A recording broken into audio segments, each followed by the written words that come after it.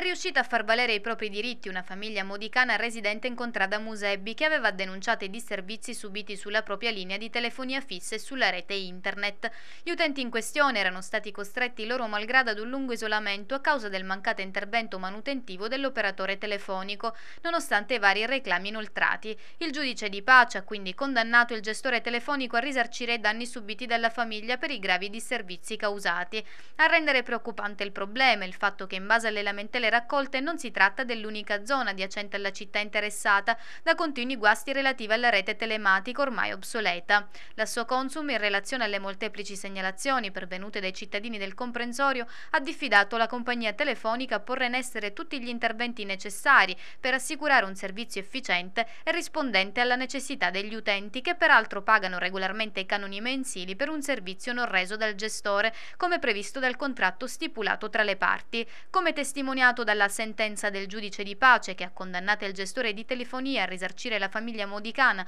che ha patito i disservizi, gli utenti possono dunque avviare la procedura di reclamo cui le varie compagnie telefoniche sono obbligate a rispondere e soprattutto possono ottenere il giusto risarcimento in relazione ai disservizi patiti. Per ulteriori informazioni ed assistenza si può contattare a Soconsum Ragusa all'indirizzo email a soconsumragusamodica-gmail.com.